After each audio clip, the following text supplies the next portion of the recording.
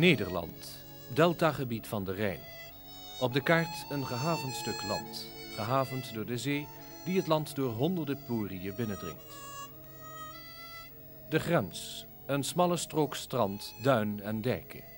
300 kilometer zeewering, 300 kilometer recreatiegebied voor honderdduizenden toeristen uit het achterland.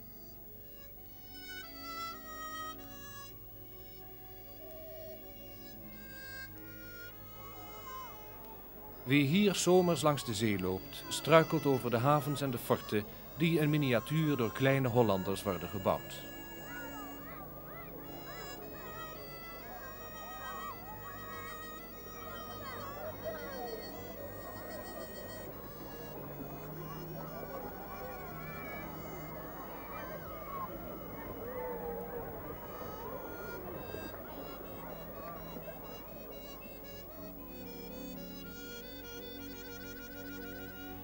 Tweemaal per dag overspoelt de vloed de bouwwerken en tweemaal per dag beginnen op het vlakke strand de Hollandse jongens opnieuw.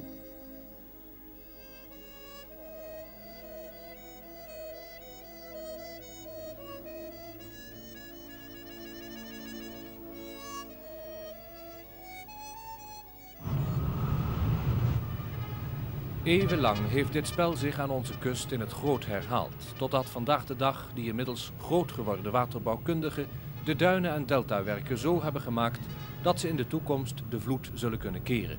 En dat is nodig, want in de loop van de tijd zijn tijdens stormen, behalve astronomische bedragen aan bezittingen, 47.000 hectare grond verloren gegaan.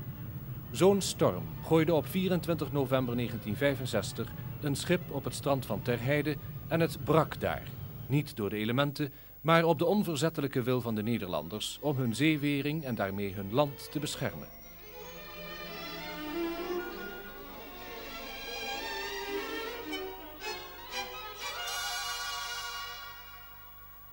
I'm the captain of Ping An. Ma is my name. On the date of 24th of November 1965, my ship was awaiting order at the outside anchorage of the Hook of Holland. The wind force increased to 9 at 1.30 a.m. and the starboard anchor chain broken by strong wind and current. After then, I tried my emergency engine and port-side anchor because of my main engine was out of order. But the port anchor and engine didn't help much, so the vessel was dragged by wind and current approach to the shore. I informed my agent and tug company in Rotterdam to ask them to assist the vessel by the radio. When they were arranging the tugboat, I feel the ship would be in dangerous circumstance. So I sent my mayday by radio. Mayday relay, mayday relay, mayday relay. This is Scheveningen radio, Scheveningen radio, Scheveningen radio.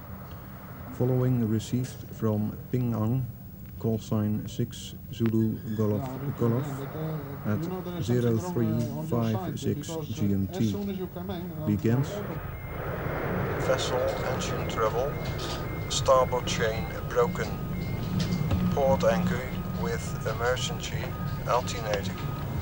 Against strong wind current at position 52.02.8 north 04.80 east. But tracking fearing vessel will be aground. Signed Master 250356 Zulu. Uh, we kregen om kwart over vijf kregen we een bericht van onze inspecteur van de Zuid-Hollandse Rademaatschappij dat er een boot op drif was van de waterweg zo hier naar het rijden toe. De wal liggen. Dus toen heb ik mijn mensen gewaarschuwd, kapot, wakker gemaakt. Dus dan we de boot wezen halen. En toen ben we er naartoe gegaan. Toen zagen we de koningin Juliana komen. Langs de 12 heen, zo naar de boot toe. Die heeft ongelooflijk ongeveer 27 man afgehaald. De boot lagen waren op strand en alles. Liep nog de wagen op. Toen ben we naar de boot toegevaren. Dan hebben wat van 1 of 22 man hebben we toen erop gehaald.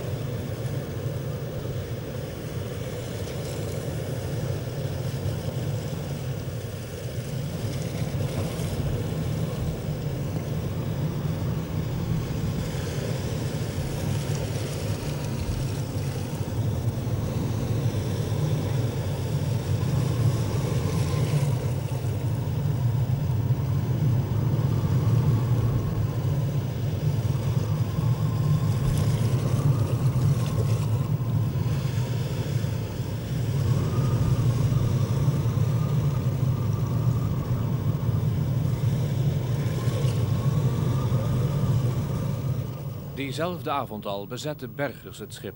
Een no-cure no-pay contract in hun zak. Daarmee nemen ze zelf alle risico's voor het vlot trekken van de ping aan. Lukt het, dan steken ze een fors bedrag in hun zak. Zo niet, dan hebben ze er een dikke strop aan. Ze zijn niet lang alleen.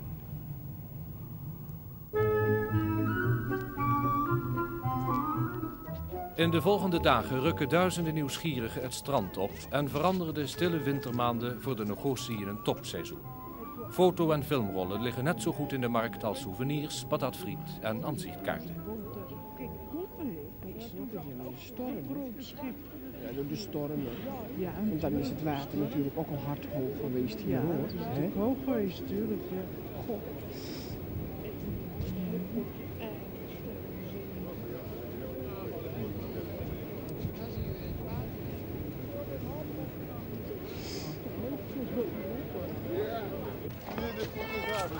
Met nog een beetje chocolade af voor de gulden. Hier nou. Chocolade, volle melk, jongens. Melk, mokka, slagroom, rum en tuttenfrutti. Ja, chocolade, af voor de gulden, jongens. Roodmotor vandaag, vriendenbeleven. Vijf gulden, die acht voor de. Dat is mogelijk, hè? Alle verschillende smaken. Melk, mokka, slagroom, rum en tuttenfrutti. Nou, wat je meer hebben? Hè? Elke reep zit in bevaardigd 2 liter melk, roomboter, kaas en eieren. Die neusjes zijn helemaal kapot. Helemaal opengereden daar. Gewoon dichtgegooid met cement of zo. Iets. Cement? Ja, de met die neusje moet toch gewoon ver- vernieuwd worden, van onderen. Nee, maar dat is helemaal opengereden. Hoe kan dat? Ja, toch wel, maar deze dam die gaf eerst geen toestemming voor die dam hier. Ik heb wel eens gehoord dat ze er met, eh, met ladders afkomen. En dan staat er hier een fiets en dan karren die gasten zo naar het dorp hier. Het is een merkwaardige periode in het bewogen leven van de 20-jarige Ping An. In Engeland gebouwd bewees het twee opeenvolgende eigenaren dienst als koelschip, voordat het in handen kwam van de tegenwoordige bezitter, de Tehu Steamship Company in Hongkong. Als koelschip werd het toen al niet meer gebruikt vanwege zijn vrij hoge leeftijd. De Chinese bemanning voer onder Liberiaanse vlag toen de Ping An eind oktober voor dringende reparaties aan kiel en machines in Rotterdam naar de werf ging. Op 22 november waren de reparaties voltooid en namen de technici van de werf en de inspectie van Lloyds op zee afscheid van kapitein Ma en zijn mannen nadat zij alles in orde bevonden hadden.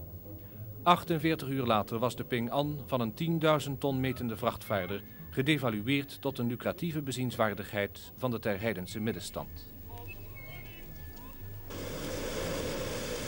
Drie weken stormweer veegt alle belangstelling van het strand en houdt de bergers in de hutten van de Ping An.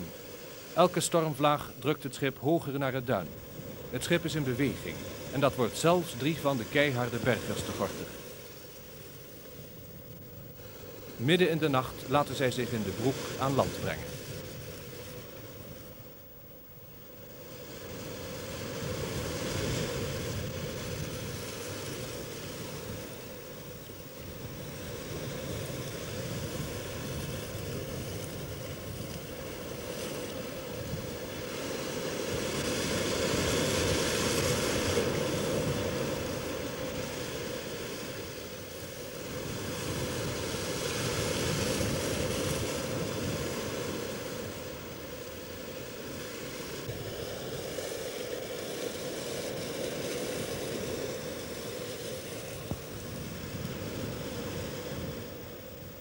De onverschrokken achterblijvers doden de tijd met wat zij inspectie noemen. Jongen, jongen, wat een troep. In de haast achtergelaten met alles ter hele hebben en houden. Dat hebben ze achtergelaten. Jam. Potje vies, stinkend melogen. Een paar batterijtjes, die ben goed voor mijn zaklampje.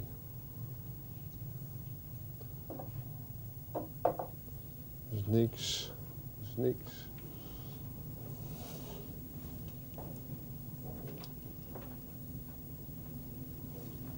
Of opium zit hier of daar. Alles achtergelaten, bang dat de heren zou verdrinken.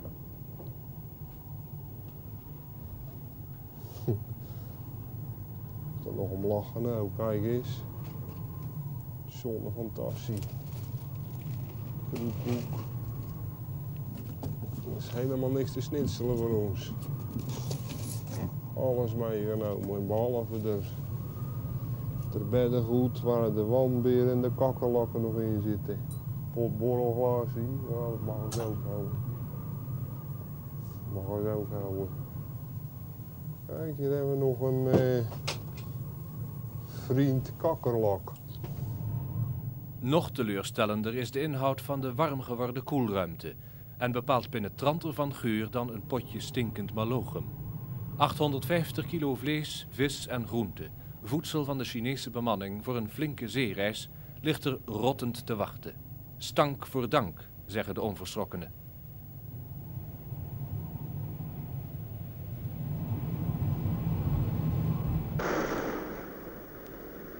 Actie voor de bergers na de storm. Voor de kust ligt het bergingsvaartuig Dolfijn. Het zal ankers uitzetten waaraan de Ping An zichzelf vlot moet trekken. Ping An, de Dolfijn. Nou, je ziet ons al leggen. Je ziet ons al leggen. We leggen momenteel op de radar 300 meter, ongeveer 300 meter van je vandaan. We hebben momenteel 3,5 meter water. Dichterbij kunnen we niet komen hoor, want er is een flink zwelletje. Nou, de reddingboot die heeft de dunne draad aan boord. Heeft de dunne draad aan boord. Die komt naar je toe. Die komt naar je toe. Eh, Ik geloof niet dat hij bij je kan komen, maar dan stuurt dan een mannetje naar het strand. Stuurt dan een mannetje naar het strand. Met een duikerpak of een kikkerpak aan.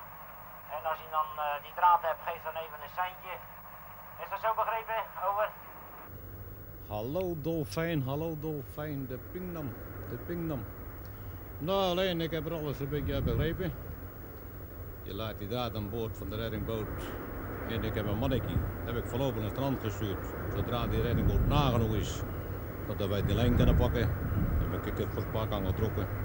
Dus dan kan hij zo die lijn van je overnemen. Over.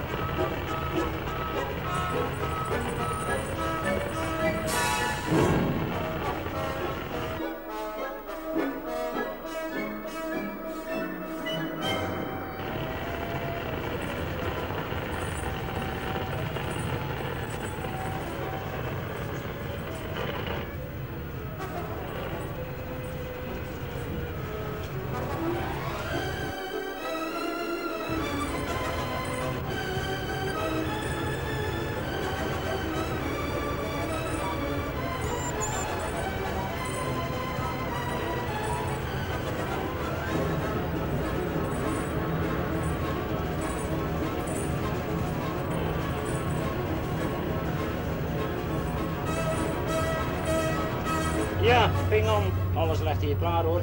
Alles legt hier klaar. Dus u gaat nu draaien, u gaat nu draaien.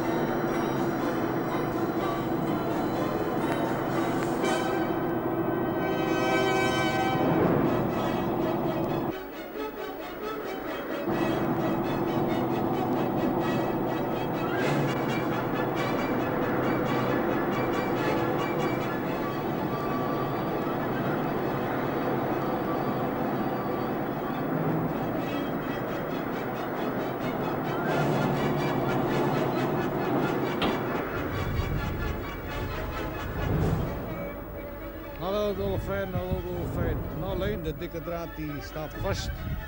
Dus wat mij betreft kan je je anker eruit halen en je kan hem stijf uitstoppen. Pingan, Pingan. De ketting loopt juist overboord, Gerrit. De ketting loopt juist overboord. In de richting die we afgesproken hebben. De richting die we afgesproken hebben. Hij loopt netjes weg. Nog even, dan gaat hij. Nou Gerrit, dan gaat hij hoor, de tanker, dat gaat er net in. De tanker gaat er net in. Je zal zo de boei wel zien gaan. Je zal zo de boei wel zien gaan hoor. De boei die gaat overboord.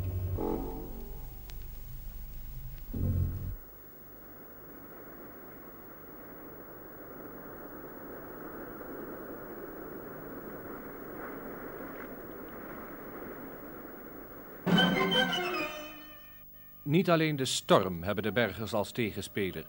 Vijf meter diep is de Ping An in het strand gedrukt. Om hem daaruit te krijgen zal een geul moeten worden gegraven. Welk gevaar levert dat op voor de zeewering en voor het achterland van 1,7 miljoen hectare? In Delft vergadert het Hoogheemraadschap Delftland. Alleen wanneer zij hun fiat geven, mag de Ping An worden vlotgetrokken.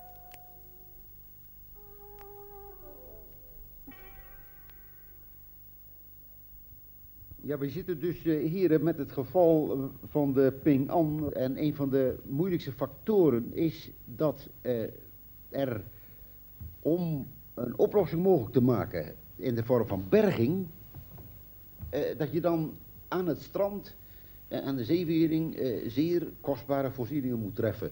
Eh, daar zit voor miljoenen onder de grond. Een berger die gaat sleuven graven, die gaat, die gaat een schip vrijmaken.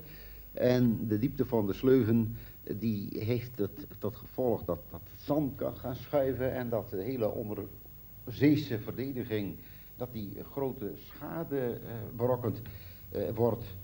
Het, het belangrijkste punt is voor ons hoe raken wij die ping an kwijt met een minimum aan eh, risico voor de zeewaterkering. Dat is eigenlijk het punt. Eh, men kan op, de, op het strand eh, tegen de zeewering aan eh, vrij belangrijke werken bouwen om, om de berging mogelijk te maken. De schattingen die, van zo'n werk die, die belopen altijd drie ton, misschien wel vier. We hebben wel een schatting gehad dat als het schip in Rotterdam voor de wal komt, dan is dus die berging gelukt. Hm? Dat je dan nog op een bedrag van 6, 7 ton aan moet rekenen. Eh, daar komt dan 3 à 4 ton bij voor de maatregelen aan de zeevering. Eh, een miljoen kosten, een miljoen, dat brengt dat schip dan niet op. Daar komt een zeer aanmerkelijke eh, een zeer aanmerkelijk tekort. Het is 22 jaar oud. En het, ik geloof dat het 15 of 20 jaar oud is. Weet u dat precies? Onder de 20 Onder de 20 jaar oud. Onder de 20 jaar. Ja. Dus die bedragen die zijn vrij, vrij gering. Nu moet ik even, even waarschuwen. Dit gaat alleen maar nog over de kosten van ruiming. Want die kosten aan het hoofd, die bedragen ook zo'n zo, ton of drie. Daar komt hier nog een, een, een, een expertise over op tafel, waar u dus nog een, een idee over moet vormen. Maar die staan hier buiten. De Strekdam, waar de Ping An als een enorme rasp overheen ging. Reparatiekosten 300.000 gulden.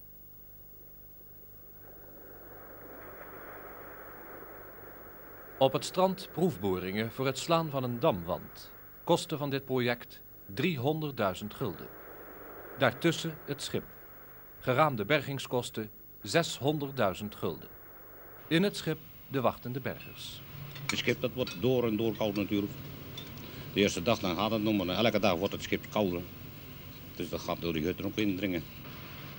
Elke dag verwacht je dat er bericht afkomt dat je beginnen mag.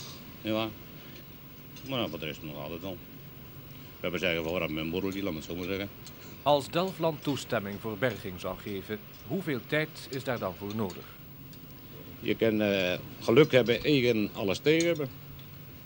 Dat heb je met, met strandingwerk. Je kan een gok maken van twee maanden, je kan een gok maken van drie maanden. Maar om te zeggen, zoveel dagen werk ik erop, kan niemand vertellen. Dat is zeewerk, dat kan niet. Eh, er zijn natuurlijk meer mogelijkheden. We hebben er eh, niet alleen de, de berging bekeken, maar ook de sloping. Er is de mogelijkheid om de zaak te slopen en er zijn ook aanbiedingen binnengekomen, maar die aanbiedingen die hebben het grote bezwaar dat eh, men niet garandeert dat alles verdwijnt. En wij zijn toch tot de conclusie gekomen dat wij eh, dat moeten voorkomen. Er moet niet straks een half schip of een boeien met tweede boeien blijven liggen. En wij moeten op een of andere wijze een garantie incalculeren dat de zaak inderdaad eh, verdwijnt. Nou ja, dat sloop op zichzelf, dat is altijd een groot karwei natuurlijk. Als je voor de werf legt, dan is dat een peulenschilletje. Want ik heb zelf op de sloperij gewerkt, ik heb zelf gebrand vroeger. Dus wat dat betreft. Maar hier is het een groot karwei. Dat ding moeten we kwijt. Dat ding moeten we kwijt met het minimum risico. En met eh, de grootste zekerheid dat de operatie gelukt. Sloping gelukt zeker. De risico is het meest beperkt van alles wat ons op het ogenblik eh, eh, voor ons ligt.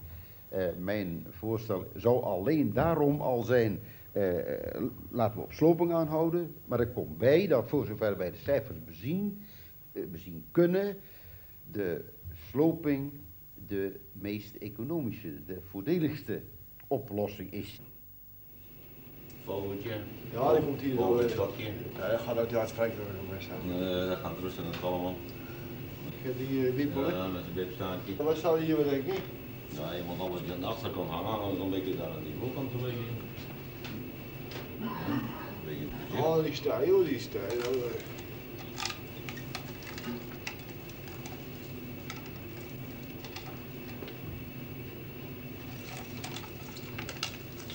Mooi boompje, hè? Nee, eh, Frank, kom best uit. eh. Simon. Hoe een ding, hè? Ja, nee. Hè? Ze rijdt de kunst. Alleen die nog Zie je die meester? Laat op me wel in, hoor. Hè? Die mooie raak nog in. Nou, Nou, ik vind hem prachtig zo. hoor. Vind je mooi? Ja, Er waren nog een paar landbeertjes er al. Nou, dan gaan we kijken. Hey. Oh ja. Even kijken. dat maar. Wat daar even even. Ja, nee. Kijk nou eens. hè? Zal er toch even voor applaudisseren hoor. Jongens, uit brand. Het stille nacht heeft plaatsgemaakt voor het uren, dagen, maanden, jaren. De bergers wachten. Het wordt 20 januari. Dijkgraaf, eh, mag ik misschien ook nog eh, even een vraag stellen of een opmerking maken, hoe u het ook noemen wil. Eh, het is namelijk zo, we hebben hier op een vorige vergadering, 14 dagen geleden, al een anderhalf uur over gediscussieerd welke mogelijkheden er waren. en wat of tot een beslissing zou moeten leiden. Daar zijn wij toen niet uitgekomen. Vandaag moet dus de beslissing eens een keer vallen. En nu heeft u bedragen genoemd, bedragen die er nogal aanzienlijk in hangen. Maar wat is eigenlijk het belang voor, van deze hele affaire? Is het, zijn het de bedragen waar wij mee te maken hebben? Of zijn het uiteindelijk de belangen van onze zeewering die hier een voorname rol spelen? En dat zou ik nog meer op de grond, voorgrond willen stellen dan drie of vier ton waar men dus voordeliger of nadeliger mee zou werken. Uh, Mag ik ook een stem? Uh, ja, doet u dat, meneer Hogedam? Ik, ik, heb niet alle vergaderingen meegemaakt uh, van het college, omdat ik natuurlijk maar waarnemend hoogheemraad ben. Uh, maar ik kan niet anders zeggen, ik wou maar overgaan tot slopen. Ik geloof dat dat de veiligste manier is voor Delftland. En, want we zitten hier toch eigenlijk ook voor het behoud van het waterschap en niet voor het behoud van bestrande schepen. Ik dank u wel, meneer Hogedam. Ik geloof dat ieder zijn oordeel nu gezegd heeft en dat ieder zich uitgesproken heeft voor het sluiten van een sloopcontract. En uh, ik stel dus voor om daartoe nu het officiële besluit te nemen. Uh, is niemand tegen? Dan is het al dus besloten.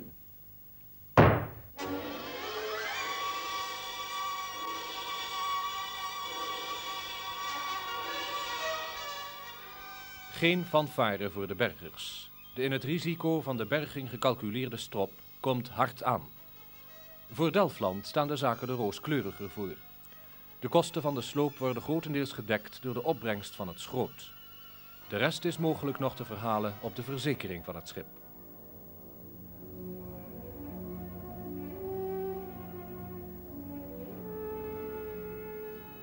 Voor de 65-jarige baas Spruit van de Bergers een bitter einde van zijn loopbaan.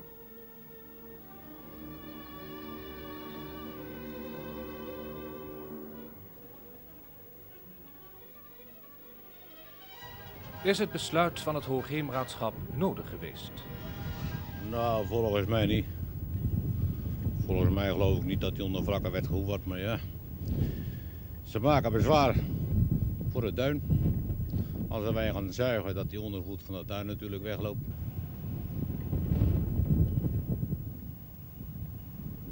Die boot die zit al 4 meter in het zand. Dus verder hoef ik er al niet veel meer onder vandaan te halen, want die boot zit in zijn eigen put al. Nee maar, als ik nog uh, die boot 4 meter zou moeten zakken op het moment, dan was er wat anders. Maar op het ogenblik hoeft die boot geen 4 meter meer te zakken, want die boot die komt praktisch van water in zijn eigen put. Komt die vlot. Nadat wij aan boord gekomen is die boot nog een 30 meter hogerop gegaan en steeds ongunstiger gekomen tegenover de voet van het duin.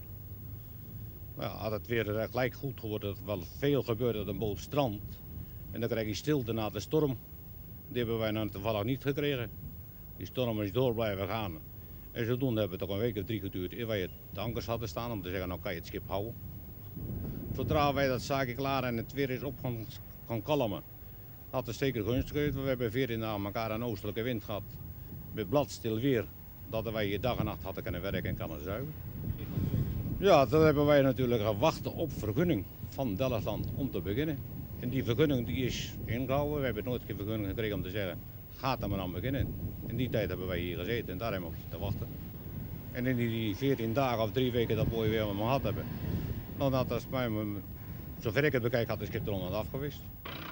Is Delftland te voorzichtig geweest? Had het te weinig vertrouwen in het oordeel van Spruit en zijn mannen. Op de plaats waar de Ping An strandde is het duin niet breder dan enkele tientallen meters, onder het zand versterkt met een dijk, een stuk kunstmatige zeewering van 2 miljoen gulden.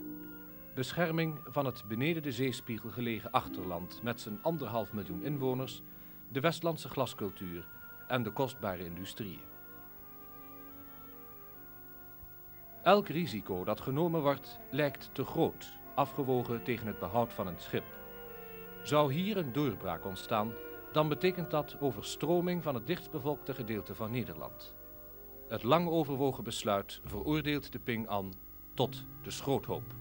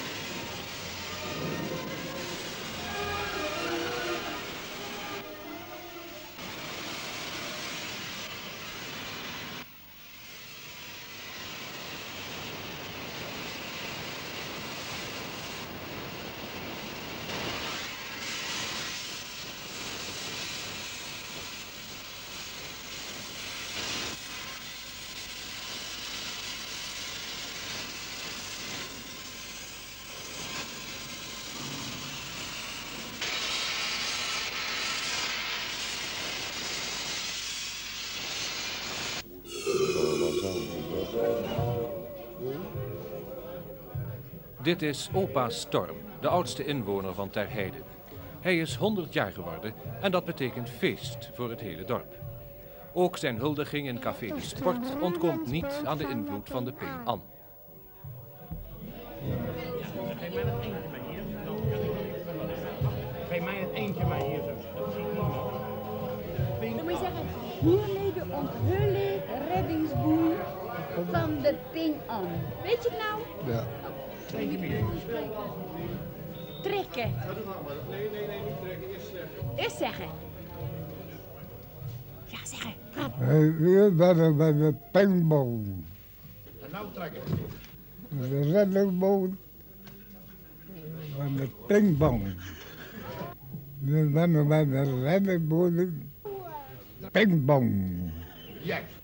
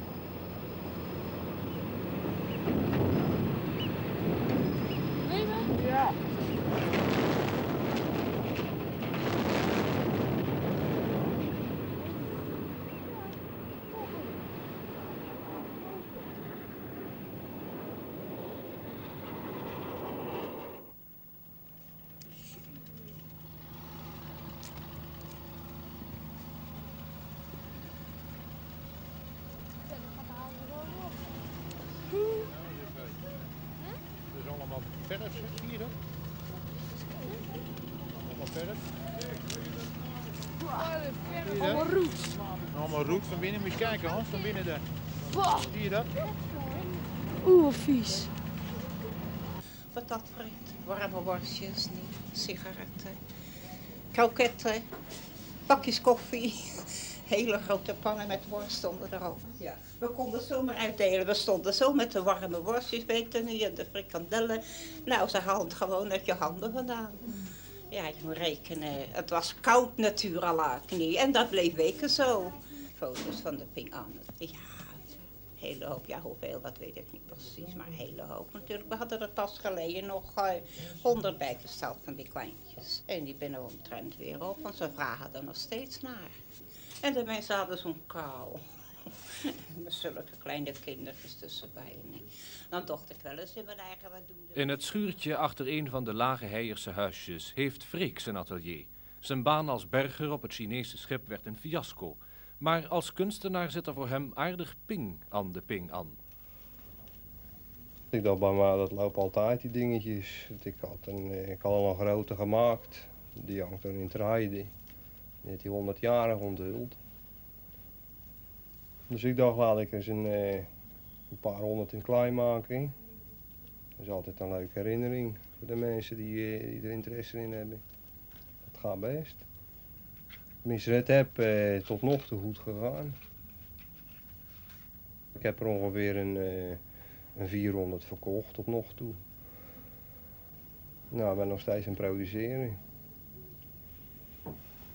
Zit nou maar een paar, eh, ja, maar een paar uur op een dag zit ik er te knusselen. Een beetje tijdverdrijf. Als ik er een hele dag voor zou gaan zitten, dan maak ik er ongeveer een 50. Die lever ik er dan helemaal eh, kant-en-klaar af. Dus ja, eh, zolang als die ping aan, dus dat er nog maar een klein stukje van die ping aan overblijft, dan, eh, dan geloof ik nog wel dat het zal blijven lopen. Maar zo gauw als die ping aan weg is, dan, eh, dan is het wel gauw afgelopen.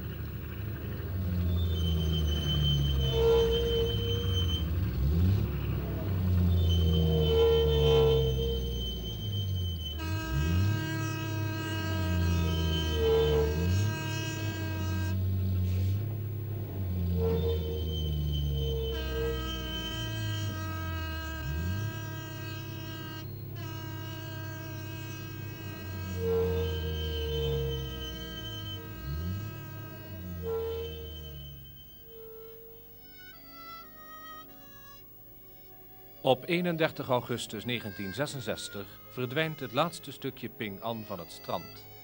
Zeven maanden lang is er gesneden, gehakt en gebrand. Aan de moeilijkste clausule in het contract is voldaan. Er zijn geen resten in het zand achtergebleven. De Ping An is 6000 tons groot geworden. Maar misschien zal men uit dit oude ijzer binnenkort een nieuw staaltje van scheepsbouwkunst lassen.